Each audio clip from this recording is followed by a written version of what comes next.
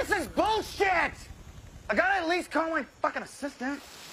Ow! Fucking Jesus! Dude! Oh!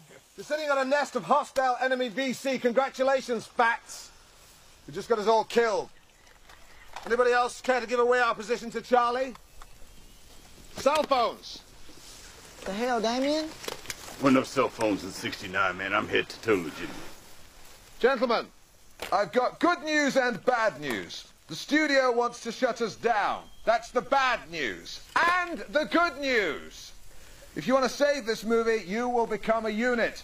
Your objective is to head north to the Danquook River and liberate the POW camp. At which point, Foley will get himself captured. At which point, you will rescue him. At which point, we will topper you home. Oh, Damn. Foley, since you're the staff sergeant, there's the map. There's the scene list. Think you can handle it? We have rigged this entire Valley of Death with hidden cameras. And I will be shooting as well from unseen vantage points so that every glorious moment is captured on film. and believe me, gentlemen, it will be glorious.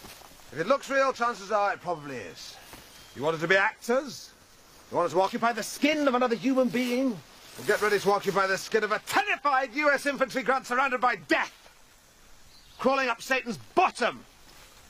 There'll be ambushes, enemy fire, your own little personal slice of Nam. This radio goes to the chopper and the chopper only. The chopper is God, and I am Jesus Christ, his son.